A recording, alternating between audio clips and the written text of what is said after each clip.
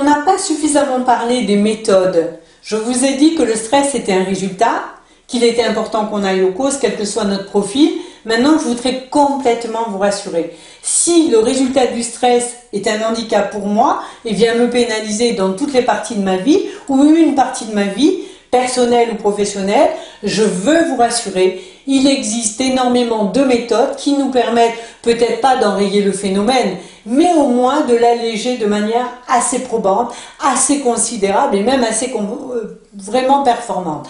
Alors, je fais partie des professionnels qui, depuis un certain nombre d'années, interviennent aussi bien dans les organisations privées, publiques, Caritas International, pour gérer ce phénomène. Et il existe des tas de méthodes aujourd'hui. Alors, je vais juste vous en citer quelques-unes. Sachez d'ailleurs à cet effet que j'ai écrit un ouvrage, Libérez-vous du stress, Alt Burnout, que vous pouvez vous procurer. Et sachez que j'ai mis une formation en ligne qui nous permettent de suivre un process considérable dans le temps et qui vous permettent d'alléger complètement cet acte. Donc, des méthodes existent. Alors, je vais vous en parler de quelques-unes. Je ne les connais pas toutes et je veux vous l'affirmer avec toute mon humilité. Je vais vous parler uniquement de celles que je connais et pas forcément celles que moi j'enseigne.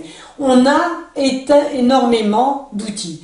Sachez qu'aujourd'hui, il existe des livres il existe toute une bibliographie considérable, mais peut-être que pour certains d'entre vous, les livres, ce n'est pas un acte pédagogique, vous avez besoin d'un face-à-face. Renseignez-vous autour de vous, sur votre territoire. Vous avez des associations qui proposent des ateliers, vous avez des, axes aussi au niveau de votre travail, vous avez des possibilités, puisqu'on a de plus en plus d'organisations qui proposent à leur actif des formations, des séminaires, des ateliers, des réflexions même pour les soignants, pour euh, l'industrie, pour tous les environnements économiques, privés comme publics, je vous le rappelle, y compris Caritas International, tout le monde associatif. On a de plus en plus de propositions pour les personnes qui sont confrontées dans leur méthode, dans leur travail, dans leur activité professionnelle et dans leur vie personnelle. Vous avez toutes ces méthodes sous forme d'ateliers, sous forme de formation, sous forme de séminaires, sous forme de bibliographie. Vous avez ensuite les méthodes qu'on connaît le plus, c'est la respiration abdominale, ne l'oubliez jamais. Vous pouvez vous munir effectivement de cela. N'oubliez pas que ça coûte 0 francs. C'est quelque chose qui se pratique régulièrement. En 5 minutes, vous pouvez calmer le jeu des émotions, évacuer des émotions nocives.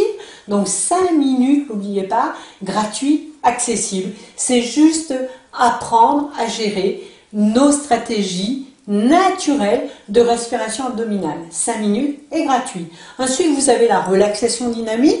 Vous avez énormément de professionnels reconnus d'autres reconnus, moins connus, mais qui sont formés, diplômés, certifiés à la relaxation dynamique et qui font dans vos territoires certainement des choses très bien. Ensuite, vous avez la sophrologie. Ensuite, vous avez bien sûr la PNL, mais la PNL est un outil très technique qui va travailler beaucoup plus sur votre mental, sur vos stratégies internes et beaucoup moins sur votre corporalité. Donc la sophrologie est un outil extraordinaire qui va donner des résultats immédiats. Sachez, immédiats.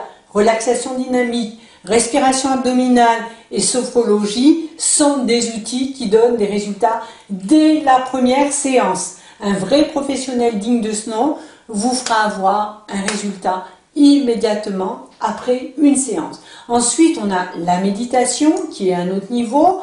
On a également la pleine conscience qui se développe de manière considérable dans le milieu médical et dans le milieu soignant. Et là, on a effectivement énormément de professionnels.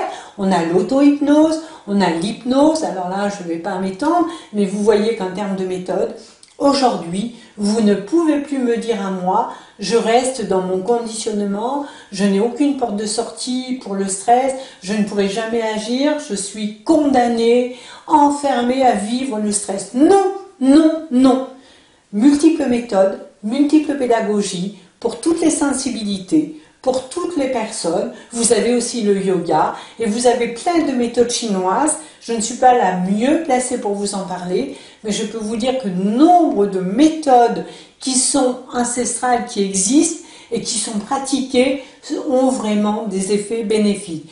La seule mise en garde que je tiens à vous faire, les méthodes sont toutes pour moi valables. Je n'irai pas vers plus une que l'autre.